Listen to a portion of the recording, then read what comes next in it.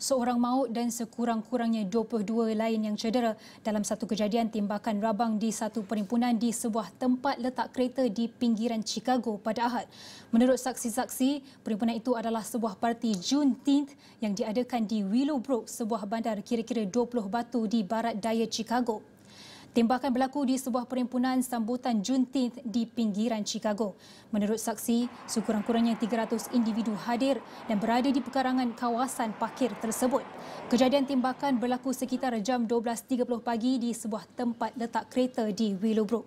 Menurut kenyataan daripada pejabat syarif daerah DuPage, sejumlah suspek yang tidak diketahui telah melepaskan beberapa das tembakan menggunakan pelbagai senjata api ke arah kumpulan individu yang sedang berkumpul. Sekurang-kurangnya 12 ambulans telah bertindak ke tempat kejadian sebelum mangsa telah dihantar ke empat buah hospital dan dua orang berada dalam keadaan kritikal. Menurut Gun Violence Archive, insiden ini menambah angka kepada jumlah keseluruhan 310 insiden tembakan rambang di Amerika Syarikat pada tahun ini.